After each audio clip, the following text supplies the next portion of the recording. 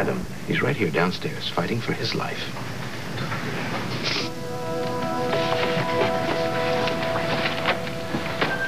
Adam, what's going on? What did you just say to her? I'd love to be a fly on the wall when they unmask the father. You told her? No, I just set up the denouement. That's all. Or maybe in your office, and you could give her something to calm her down. Where is she? Where's Chris?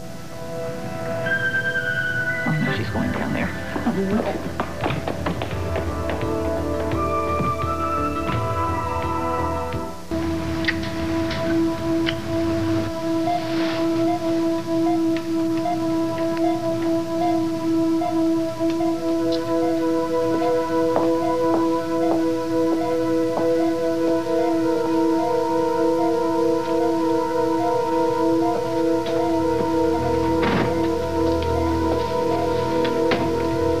sorry, miss, you can't come in here.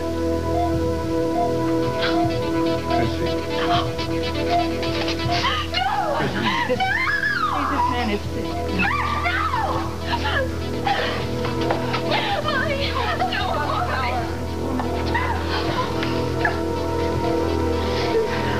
I want him